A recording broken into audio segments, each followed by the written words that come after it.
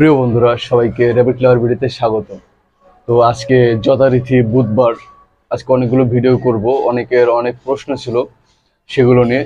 তো আজকে ধাপে ধাপে করে সেগুলো আপলোড করে দেবো, আশা করি আপনারা সবাই দেখবেন। তো আজকের এই পর্বে আমি আপনাদেরকে বলব যে, যেটা সেটা হচ্ছে খরগোশ কেন পানি খায় না? আসলে খরগোশ পানি খায়, ঠিক কখন খায় কখন খায় না? কি পরিমাণ খায়? এগুলো নিয়ে আজকে বিস্তারিত আলোচনা করব।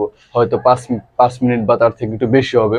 তো যাই হোক, ভালো করে বোঝার জন্য বা খরগোশকে ভালো করে পানি খাওয়ানোর জন্য আশা করি এই ভিডিওটা শুরু থেকে শেষ পর্যন্ত দেখবেন। আর আপনি যদি এই চ্যানেলে নতুন হয়ে থাকেন, তাহলে অবশ্যই অবশ্যই র্যাবিট লেবার ভিডিওকে সাবস্ক্রাইব করে বেলাইকন বাজিয়ে রাখবেন। তো চলুন, ভিডিওটি শুরু করা যাক। সবাইকে অগ্রিম ধন্যবাদ। খরগোশ পানি খায় না খায় না। আমার চ্যানেলে অনেকেই কমেন্ট করে ইদানিং, কিন্তু তার ভিতরে খরগোশ পানি খায় না, এই লাইনটা বেশিরভাগ কমেন্টে এসে থাকে।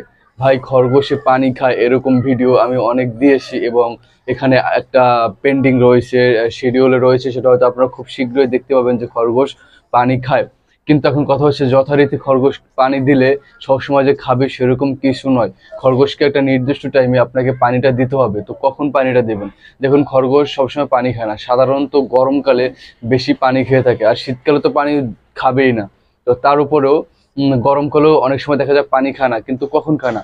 যখন দেখা যায় আপনি ফ্রিজ থেকে কলমি শাকটা বের করে দিয়ে দিলেন বা এমন কোনো খাবার দিলেন যেখানে রসালো পদার্থটা বেশি বা এমন কোনো ঘাস দিলেন যেখানে রসের পরিমাণটা বেশি, এইসব ঘাস দিলে বা খাবার দিলে তারা পানিটা খায় না। কারণ এটা হচ্ছে যেহেতু রসালো পদার্থটা বেশি, পানি তৃষ্ণাটা অটোমেটিক তার কমে যায়, যার কারণে খায় না। বাট আমি, আপনি যদি অতিরিক্ত গরমে আপনার, আপনারা আমার ফেস দেখে বুঝতে পারতেছেন যে আমি কতটা রৌদ্রের মাঝে বসে আছি। আমাদের এই যে দরজাটা আছে, এইখানে দেখ- দেখতে পাচ্ছেন যে কি পরিমাণ আলোটা পড়ছে জাস্ট এইখানে।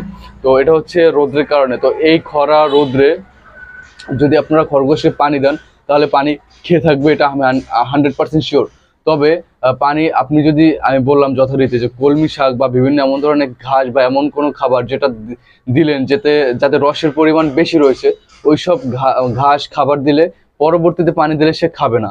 তো আপনি যদি ওই খরগোশকে পানি খাওয়াতে চান, তাহলে যে জিনিসটা করবেন সেটা হচ্ছে এইসব খাবার দিবেন না। সবসময় দিবেন না, সেটা না। আপনি যদি সাপোজ আপনি এখন খরগোশকে পানি খাওয়াবেন, আপনি এক থেকে দুই ঘণ্টা এসব খাবার দেবেন না, হয়তো গমে ভুসি দিবেন বা শুকনো খাবার দেবেন, যেটা খেলে হয়তো তাদের পানি তৃষ্ণাটা লেগে থাকে, তাহলে তারা পানি খাবে। বিশ্বাস করুন ভাই, আমি একটা ভিডিও আছে, এটা শিডিউলে আছে, যেহেতু আমি চাকরি করে সবসময় ভিডিও দেওয়া হয় না। তো ভিডিও তৈরি করে শিডিউল করে দিয়ে সেটা অটোমেটিক আপলোড হয়ে যায়। তো একটা ভিডিও আপনারা দেখতে পাবেন, যেখানে আমি খরগোশকে, দুইটা খরগোশে পানি দিয়েছি, দেওয়ার সাথে সাথে তারা পানি খাচ্ছে। কারণ কি? এটা হচ্ছে গরমে তাদের পানি তৃষ্ণা লেগেছিল, তাই আপনার যদি পানি তৃষ্ণা না লাগে, আপনি কি পানি খাবেন? খাবেন না। আপনার সাপোজ পানি তৃষ্ণা লাগতেছে, আপনি আইসক্রিম খেয়েছেন। আইসক্রিম আর পানি কি এক এক না।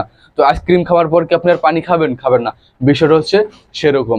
তো এই গরমে আপনি হয়তো গমে ভুসি টুসি বা শুকনো খাবার দেওয়ার পরে যদি পানি দেন, তাহলে অবশ্যই দেখবেন যে আপনার খরগোশ পানি খাচ্ছে। তো এই হচ্ছে মূল কথা। খরগোশকে পানি দেওয়ার আগে রসালো কোনো খাবার বা আদি রসের পরিমাণ বেশি রয়েছে, এসব খাবার দিবেন না, তাহলে তারা পানি খাবে না। যেরকমটা বললাম, আপনার পানি তৃষ্ণা লাগছে, আপনি আইসক্রিম খাইছেন, পরে কিন্তু আর পানি খেতে মন চাবে না। বিষয়টা হচ্ছে এরকম। তো ভিডিওটা ভালো লাগলে অবশ্যই অবশ্যই সাবস্ক্রাইব করে বেলাইকন বাজিয়ে রাখবেন। সবাইকে ধন্যবাদ, আল্লাহ হাফেজ।